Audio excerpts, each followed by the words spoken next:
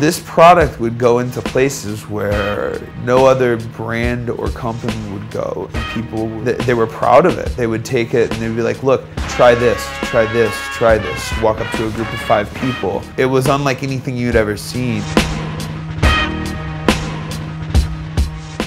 Cool. So welcome to Grenco Science. This is uh, this is our office and home court headquarters in Los Angeles. The building itself is from 1928, so it was actually the first Art Deco building in Los Angeles. My office is the vault.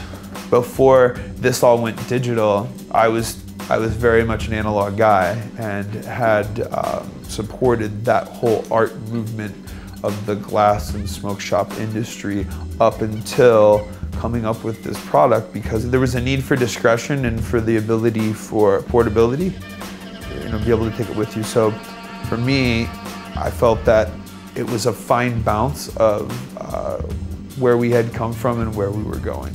A friend of mine from New York had actually mailed me a G-Pen for my birthday right before Chris had called me. So I already was an owner, I already had one, I loved it, I was using it. I couldn't believe when he, you know, my, my best friend Chris calls me on the phone, he's the guy behind this product I've been using for the last couple of weeks, you know?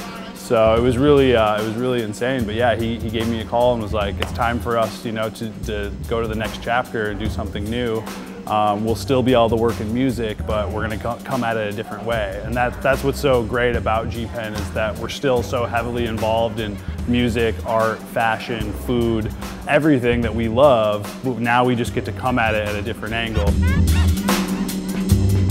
Here, this is the design lifestyle portion. So this is G-Life. Um, everything that happens in here would be uh, from the designing of a product to everything from social media, the marketing, all of our photography and video stuff happens and comes out of this office. So from a collaborative standpoint, telling the story is really like the one thing that a lot of people have lost in collaborations. It's like it's so easy for us to just take and put our name on their t-shirt or their name on our packaging and call it a collaboration. But I think to tell a story and actually get the people together and, and you know, make a true collaborative process, that's where uh, this department right here really shines. This is actually um, from a gifting suite that we did at a Coachella party a couple years ago with the artist Bert Rodriguez, and the idea was to have a claw machine where we had all the sponsors from the party place items in there and then people were able to play it free until they won something. So there were G-Pens in there, uh, Sir, Club 75, Clot, Dr. Romanelli, everybody put uh, items in and then there was a neon and the, the, whole premise of the, the piece that Bert Rodriguez did was it was um, I will always let you win and so the W in the win flickered on and off and it was I will always let you in so it was the idea of gifting someone as an emotional thing arguably the most important thing that we've done next to starting G-Pen was the, you know, the partnership with Snoop.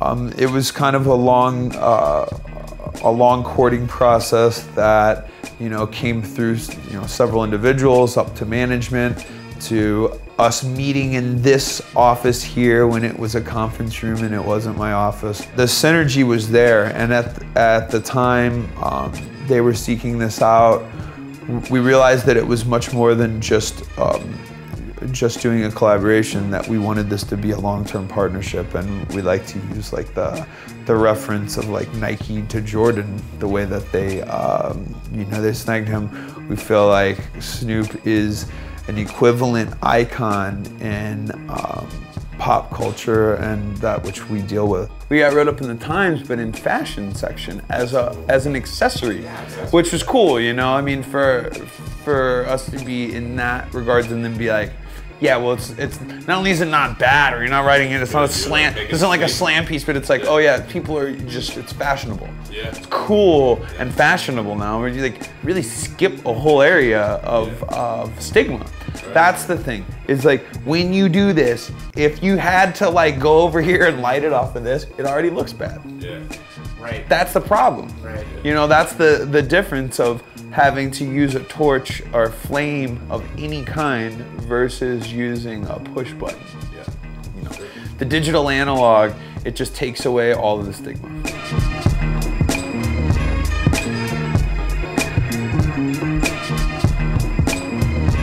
I can stage this shot. Hold on.